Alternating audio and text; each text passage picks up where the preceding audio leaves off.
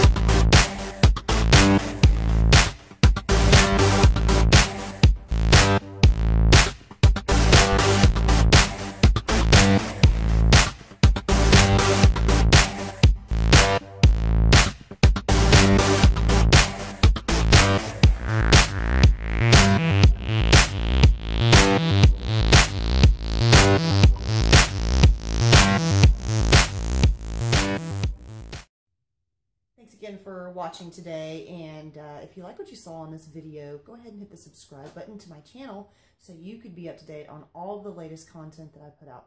I try to do a new demo and tutorial each week, so that way you could be up to date on all the latest art news, and also if there is a particular style or medium that you would like me to try out, go ahead and just leave me a comment at the bottom of one of our videos, or you could also send me an email at info at artsupplyguide.com.